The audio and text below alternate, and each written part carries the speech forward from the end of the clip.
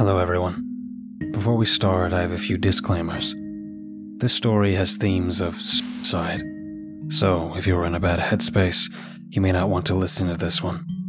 I would recommend talking to a professional, as well as friends, family, and those who care for you. Know that you are cared for, and you are not alone. Also, this story is a bit of a trip, so just be prepared for what may come. Thank you all for listening, and I hope you enjoy. Now, let's delve into the dark together.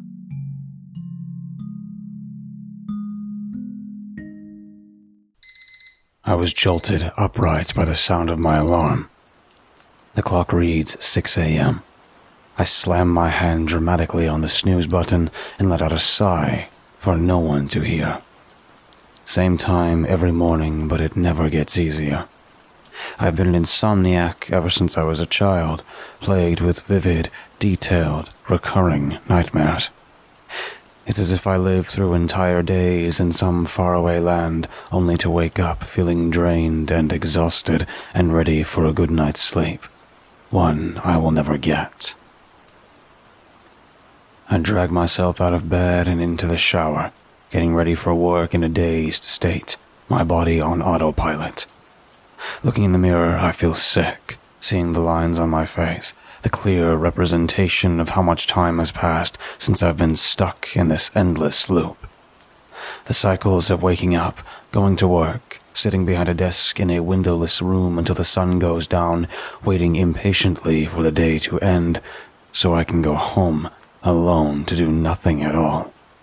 Not too daring to think too hard about anything or to change my dismal routine for fear that to break myself out of the trance of monotony would mean being forced to face the reality of how truly miserable my existence is, how empty, how lonely. Looking away in disgust, I feed my cat and leave for work. The day drags on, they all do, but this one in particular.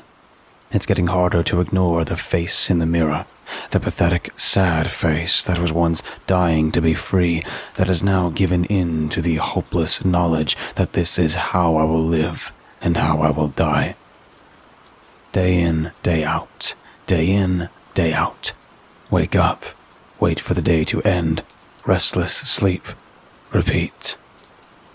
Exhausted, apathetic, hollow. This is what real depression looks like. I think to myself. I had issues with anxiety and thoughts of suicide when I was young. I was angry, frustrated, hurt, and scared. I felt overwhelmed by my emotions, trauma, and deep suffering. I felt something. There was a fight in me. Even if that fight was directed towards the wrong people at all times, even if the fear and anger destroyed any relationships I struggled to develop. I felt something. It was loud, like a constant screaming in my mind, like a caged animal trying to claw its way to freedom. This fight, this rage, this fire within me, is dead. The screaming has been replaced by a silence that is somehow louder. The dark, racing thoughts were replaced by an even darker void of thoughtlessness. The fire consumed by a cold emptiness. The defense mechanisms I created to tolerate the chaos inside of me may have worked too well. They have quelled the insanity and the rage, the fear and frustration by hollowing myself out, by emptying my mind and draining my spirit, replacing everything I feel with a numb nothingness alone in the void, left to learn the hard way that that numb, quiet loneliness is worse than any pain that life can throw at you. I would kill myself if I had the energy or drive to bother. Instead, I sit on the couch and scroll through Netflix until I finally fall asleep. I am suddenly awoken, startled from another horrific nightmare whatever pieces are left of my soul, twisted and distorted through years of my forced repression, now monsters that haunt me any time I seek a moment of rest. You really can't bury the past. You can try, but it will crawl its way out of the grave to hunt you down. A much greater enemy now than it was when you buried it. In a sudden moment of impulsivity, I grabbed the sharpest knife I own and began filling the bathtub. This is how it really happens, I think to myself. Less of the drawn out, planned scenario they show you in movies. The reason why most surviving friends and families talk of a loved one's suicide being sudden and without warning. It is hard to fight the survival instinct, ingrained deep in the primal mind of all creatures. The more time you have to think about it, the harder it will be. The guilt will creep in, the fear will take over the desire to end it. It's a moment of impulsivity, when the fire inside you, the need to be free, the soul that you drowned out through sorrow and a cold apathy towards life, finally wakes up screaming, urging you to make a move, to do something now before you fall back into the half asleep and half alive state of being you've grown so unfortunately accustomed to. I hold the knife to my wrist, trying to gather the courage to make sure I succeed. The last thing I want is to wake up in a hospital, everyone crying and doting over me, all the worst imaginable kind of attention for someone who lives such a solitary life. Just do it already. I screamed at the face in the mirror. Yeah, just do it. Another voice suddenly chimes in. I let out a shriek as the knife dropped to the floor. I picked it back up and turned around, holding it out into the air, an empty threat in an empty room. Who's there?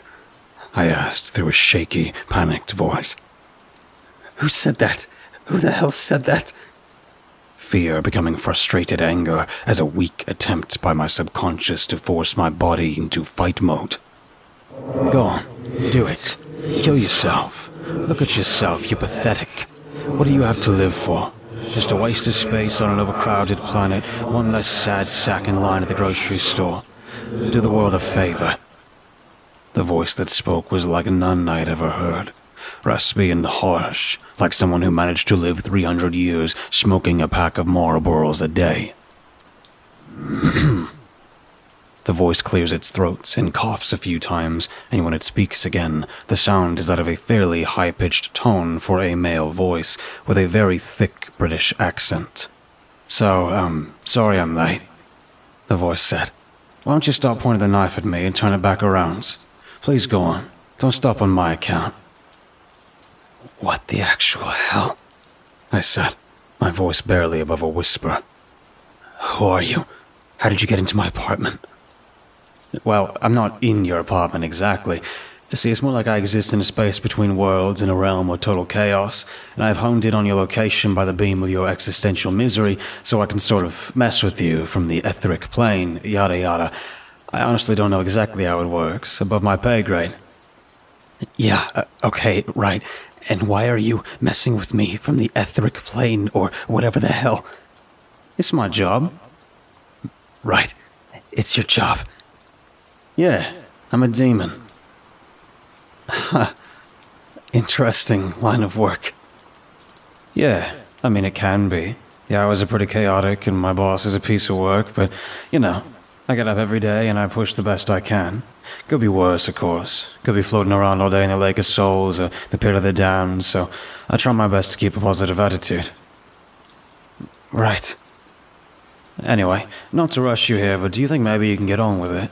I was just minding my own business, having a nice nap, when next thing I knew, I was hurtled through all the time and space to this location to help you along with the whole process of turning over your soul to eternal damnation.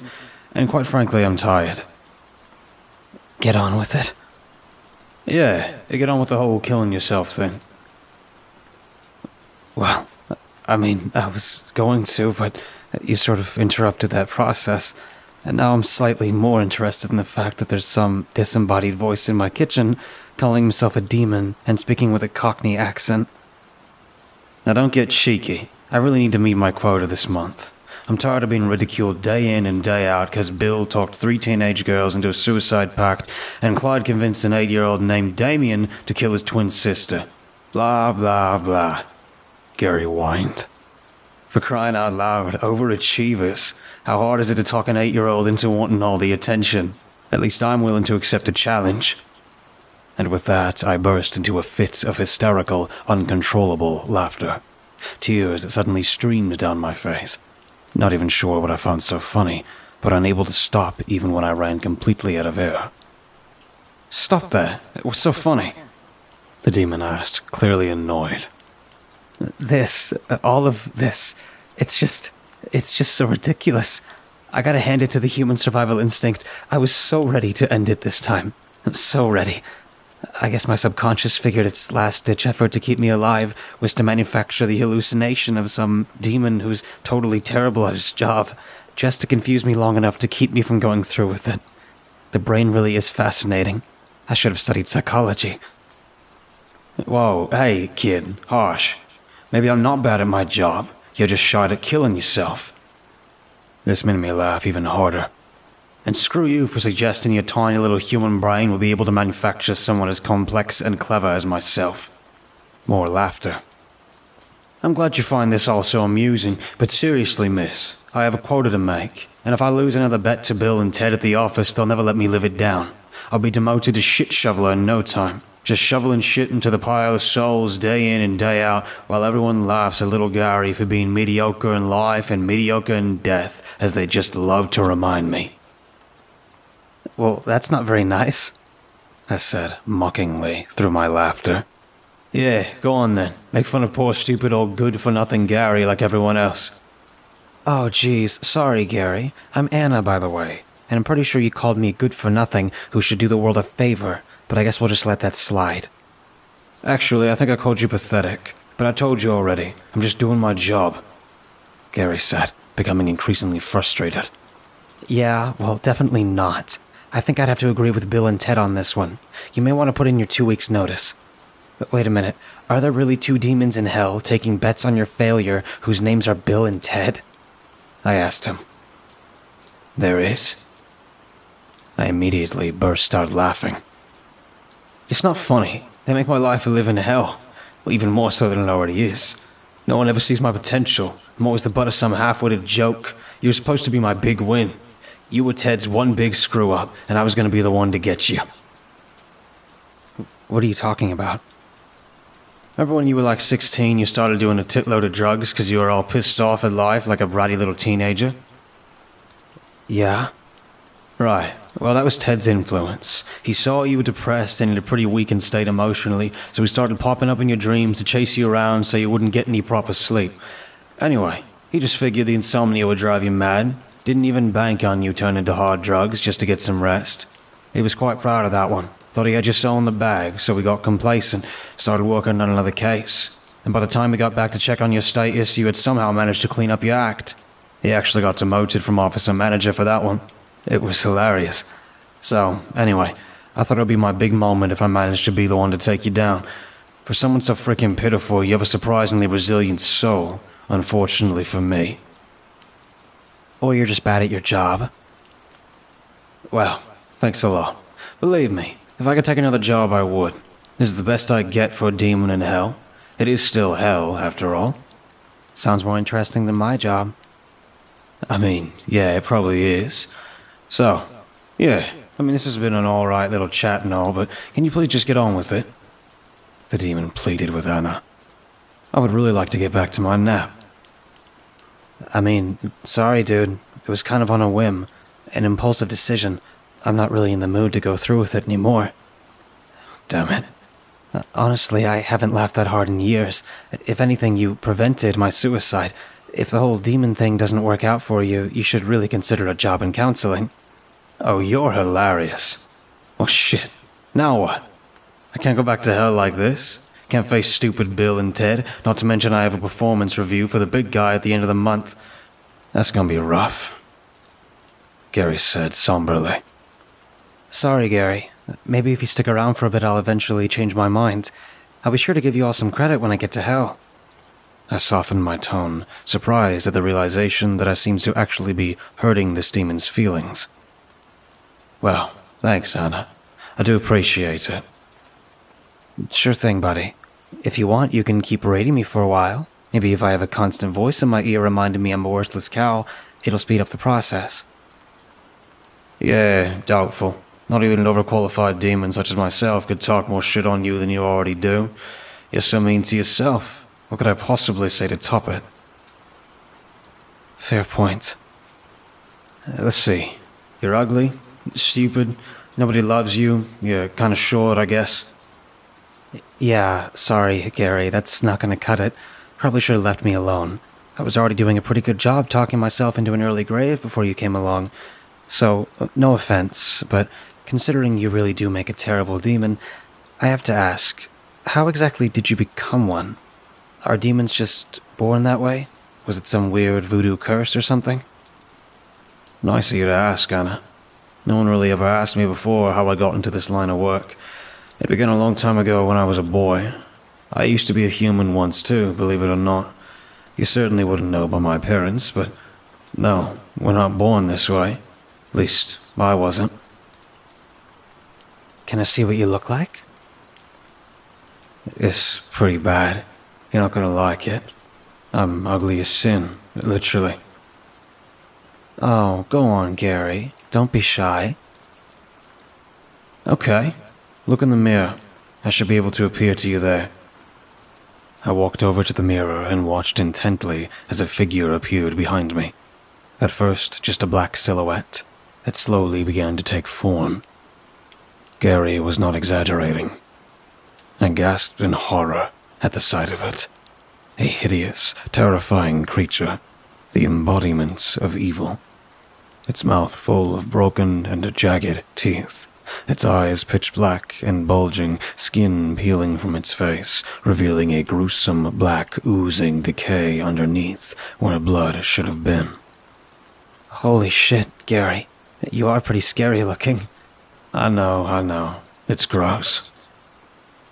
No, no, it's it's really not that bad.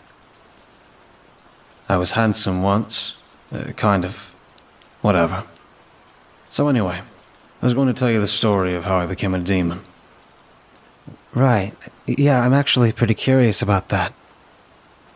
Alright. Well, yeah, so. I was a boy living in a small town in Norfolk. My dad was an asshole.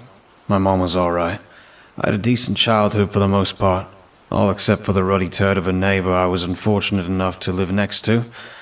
He was called Tom, and for whatever reason, he got quite a laugh out of making my life absolutely miserable. Why? No idea, actually. Never did a single thing wrong with that kid. Guess he was just one of those assholes who got off on picking on people. Always trying to one up, make himself feel superior. He had quite the complex, that Tom. Anyway, whenever I'd be playing in the yard trying to mind my business, enjoying myself, Tom would come over and make some sort of challenge out of whatever I was doing, telling me I was shot and he could do it better. He'd challenge me to a race, push me to the ground midway through, and still brag in the most obnoxious way about how he'd won. That sort of push your buttons hard kind of bullshit. I knew it was just stupid kid shit, but I was a kid too, and it really started to get to me. I hated him. I really did. I honestly wish I hadn't even allowed him to take up so much space in my head, but he really got under my skin, you know? Yeah, I do know. Some people just seem to think the smaller they can make you feel, the bigger and better it makes them. I told him.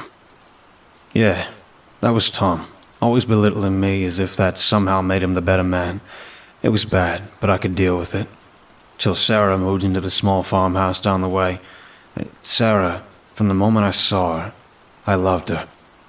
She was beautiful. Blonde hair, blue eyes. Perfect. And she was kind, too. Very kind to me. We became friends instantly. We'd take long walks together, we'd talk and laugh for hours. I loved her more than anything. I was planning on asking her to marry me. Oh, she sounds cool. She really was, till Tom came along, dug his grubby little hooks into her. He made up a bunch of awful lies about me, tried to scare her off, said I used to kill the old barn cats for sport, that I was cruel to the other kids when we were young. Might as well have been describing himself when he talked about me. I don't understand why she believed him. She knew me. But he was cunning, wormed his way into her ear and implanted himself in her head. She stopped talking to me, and not long after, they were married. Oh, shit, Gary. That's awful. I'm sorry. The worst part was, he didn't even love her. He didn't care about her at all. He only did it to hurt me. I never understand that. How someone can be so cruel they'll go to such great lengths just to hurt someone else, just to come out on top.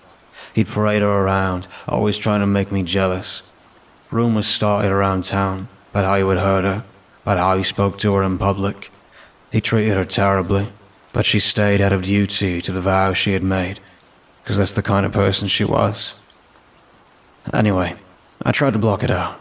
I was saving money to move as far away from that awful little town away from Sarah and away from Tom. I love to fish, so I made some extra money. I'd go out to the local pond in my little canoe and sit out there in the peaceful stillness, catch a few fish, and sell them in the market. It was nice. I enjoyed the solitude.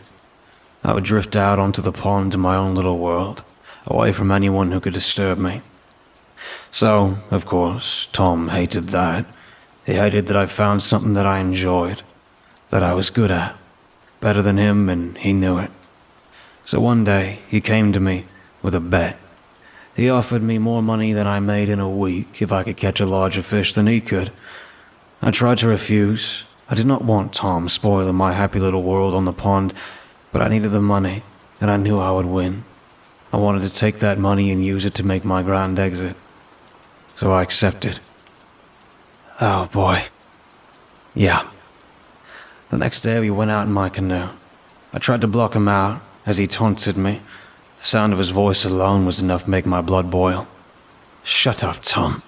I repeated to him over and over. But the more frustrated I became, the more he prodded, revealing in knowing he was getting under my skin.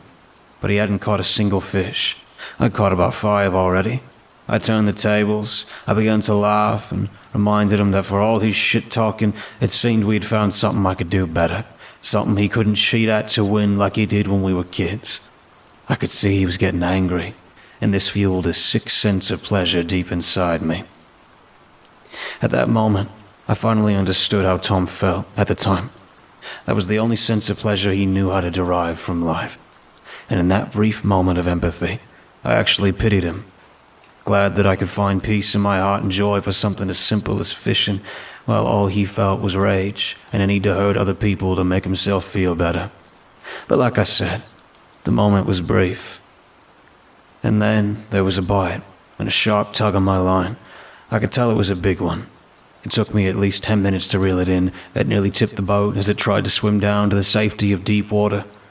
When I finally pulled it up, it was beautiful a massive fish, larger than any I'd ever caught in that pond.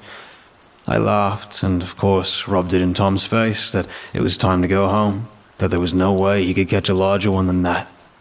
I carefully removed the hook, getting ready to toss it back into the pond. Aren't you going to sell it on the market, Gary?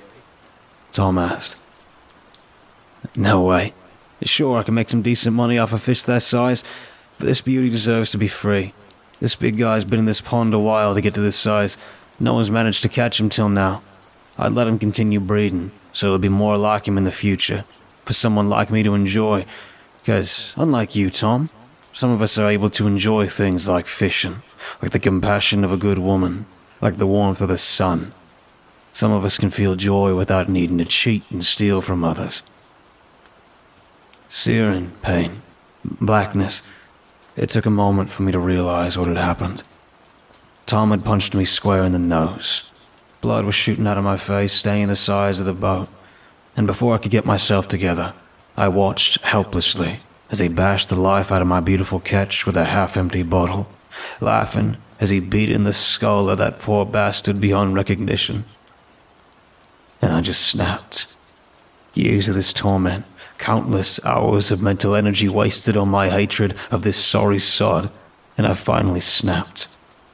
I shoved him as hard as I could, and right over the side he went. The boat rocked violently, but somehow managed to stay upright as I watched him flail and panic to keep his head above the water. Help! I can't swim, Gary. Help! I reached over the side of the boat and grabbed his hand. Look at that. Another thing I'm better at swimming. I couldn't help but point out with a laugh. Go to hell, you stupid loser. He shouted at me while sucking in water between breaths. That stupid bitch, Sarah, she would have married you. You know, I made her hate you. I told her every lie I could think of to make sure she could choose me over you. And you were too big of a coward to man up and try to win her back. You just laid down to die like the worthless waste of a man you are. Even knowing that he would drown and that I was the only one that could save his life, he still couldn't help himself. He still couldn't keep his mouth shut. Still felt the need to berate me while swallowing more and more pond water with every word he spoke. So I let go. I let go of his hand and grabbed my oar, and I paddled away. His panicked screams, full of rage and hate, slowly faded behind me.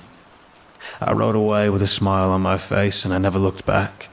I had never known what true contentment felt like till Tom was gone. Like a weight lifted off me, I finally, truly understood peace. But about a week later, I was trampled to death by a stampede of horses that were accidentally sprung from the corral of the neighboring farm. Figures, right? Anyway, I woke up in hell with this mess of a face, damned for an eternity, doomed to live out my biggest sin over and over, to exist in a constant state of rage, taking it out on all those tortured souls, misdirecting my own misery onto them, uh, damned to be, uh, well, Tom, basically. God definitely has a pretty messed up sense of humor. Meanwhile, stuck at the office with a whole bunch of other assholes just like Tom, just like me. Worst part being, I can't find Tom. It's been like a hundred years at least, and I can't find him down there. I swear to God if that asshole made it to heaven. Gary, wow. I'm so sorry. That really doesn't seem fair at all. Maybe he's down in the pit. Maybe you just can't see him. Maybe you'll be shoveling shit on his face for the next hundred years. I sure do like to hope so, Anna. That's about all I have left to hope for, if I'm being honest with myself. Most likely I'll just be damned for eternity after my complete and utter failure with you. Oh man, I really am sorry. I wish there was something I could do to help. But, like, you're really not selling the whole hell thing. I'd kinda rather live out my shitty life at this point, in the hopes that maybe I'll end up somewhere else. Well, that's not fair. You probably tortured yourself enough anyway. Hell, we'll just be redundant for you at this point. A bore, really. I guess that's true. But thanks for listening. It's been nice to have someone to talk to. Yeah, it's been nice to talk to you too, Gary. Thanks for helping me not kill myself, but again, sorry about that. Yeah, that's alright. Any other questions you want to ask an old demon before I head on back face the music? Yeah, actually. If there's a hell, that means there's a heaven, right? What exactly do I need to do to get there? Uh, can you give me a list of requirements or something? Well, as far as I know, it works something like this. Real good people, like, I mean, really good, the ones who somehow manage to avoid giving in to shoving people off canoes no matter how much they suck and who live in service to others, they go to heaven. The average Joes like yourself who don't really do much of anything noteworthy, no offense, of course, are reincarnated to try it again, and the rest of us end up in hell in some form or another. I guess depending on what it is you doom Jones' soul to deserve an eternity of. Uh, Self loathing is a sea of other helpless creatures selfishly dragging each other under while trying to pull themselves out of a pit. Or a demon stuck listening to creeps like Bill and Ted all day. Shit like that. I guess my best chance is reincarnation then. Uh, pretty sure I'm not going into heaven. Yeah, no, you're definitely not. Well, thanks for the vote of confidence. Sorry. Anyway, I guess I better get back. Could you do me a quick favor? Sure, Gary. What is it? If a demon named Ted comes around, just don't kill yourself for him, okay? I'll never hear the end of it. Fair deal, buddy.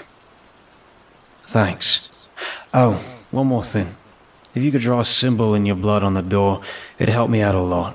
It's like a three mile hike up a jagged ass mountain if you don't teleport directly into headquarters. Hell's really a pain in the ass at every turn. I picked the knife back up and made a small incision in the flesh of my forearm. With Gary's instruction, I drew the symbol on my front door.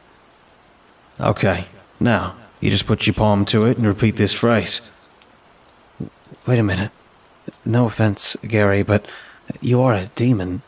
How do you know this wasn't all some elaborate trick to gain my trust and get me to draw this weird symbol thing to open some portal to hell and start the apocalypse or something? Damn, why didn't I think of that? That would have been a great idea. I really am bad at my job. You know, Anna, you'd make a pretty good demon. Perhaps we'll meet again someday. Uh, well, thanks, Gary. No offense, but I really hope not. Okay, well, bye, I guess.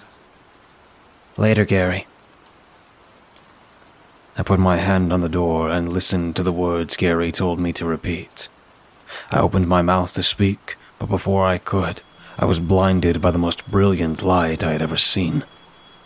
My entire apartment bathed in this light. I could see nothing else. I was forced to shield my eyes. They felt like they would burn right out of my skull. After a few seconds, I opened my eyes slowly, squinting to see the light had dimmed but was still quite profound. And in the center of the pearly gold iridescence was a man. A beautiful man, with long brown hair, long white robes, and a pair of seriously old sandals. Holy shit. I mean, Jesus. Jesus? Hi there, friends, spoke the most soothing, wonderful voice I had ever heard. The words sounded like a song, like the kind of song that would bring a grown man to tears, but also slightly resembled the voice of Ned Flanders. Um, hi. I stumbled over my words. Are you? Uh, I. The one and only, spoke the voice. Well, no, not exactly. Depending on your religion, there's a Korean Jesus, a black Jesus, the list goes on. Basically, we're just a group of hippies who tried to be nice to people and got totally wrecked for it. Uh, that's a lot. Um, why are you in my living room? Well, I was just hanging out with some friends, sharing a peace pipe with some forest creatures in heaven, when a little birdie told me there was a demon on Earth trying to talk you into killing yourself. Not cool, Gary. Gary began to cry. I, I'm so sorry. I, I truly am. Please, uh, forgive me. Well, buddy, that's my job, and I happen to actually be good at it. It's you who needs to forgive yourself. Same goes for Anna. You guys realize you've been bigger dicks to yourselves than anyone else ever has, right? The room was silent. Neither myself nor Gary could find the words. We were awestruck, consumed in the glory that filled the room. We fell to our knees and cried our desperate apologies to the godly figure that stood above us. Oh no, take it easy, guys. It's all good. As far as humans and demons go, you guys are pretty alright. The man knelt down and put a hand on both of our shoulders. A feeling of true peace, of calm warmth washed over me. I sobbed as my entire being was engulfed in a love that forced out all the pain and fear that had shacked me for so long to this miserable state of being. I felt true freedom. I finally understood, well, everything. I understood the meaning of life, of love, of being. I understood the true value of myself and of everyone else. This embodiment of truth, of unconditional love for all things, who also happens to be just a truly good person who smoked peace pipes with chipmunks and wore old sandals. Even the guilt and shame I would have otherwise felt in the face of this purity was gone, replaced with forgiveness, and for the first time I truly forgave myself. I forgave myself for all the pain and suffering I had caused. Well, myself. And then I woke up to the blaring sound of my alarm. 6 a.m. Was it all a dream? No. How? How could it all have been a dream? It was so real. I said my thoughts out loud, almost believing Gary could hear me. I began to sob, angry at my own mind for not allowing me to feel such peace if it wasn't real to begin with. But as I got up, I saw the dried blood on my hand and a strange symbol on the door. I looked out my window and saw a little bird came to greet me on my windowsill. It sang its sweet song as if directly to me. I smiled at the little bird, the first real smile I had felt on my face in a long time. I decided at this moment I would make it real, that I would live the rest of my life in appreciation of all the glory and wondrous joys of this world, knowing that good or bad, all things in life are just experiences to be had, that even in times of sadness I would rather be sad than be numb, and in times of frustration I would seek out the things that brought me joy and peace. I vowed to be kind to others and kind to myself. And I kept that promise. I decided to live the fullest life that I possibly could. I met a man and got married. I had three children whom I loved unconditionally. I had found a deep happiness inside myself that couldn't be broken even in the face of hard times. For years I volunteered at the local animal shelter. I had found the true sense of joy that came from living in service of others. Broken free from the cage of solitude I spent the start of my life in. I was truly fulfilled. But once in a while I would think of Gary. I would look into the mirror and say his name, waiting for his ugly face to appear, but he never did. I wondered what became of Gary.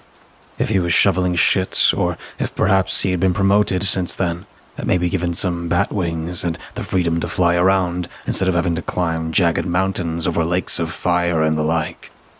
I hoped so. I wished I could thank the demon who had saved my life.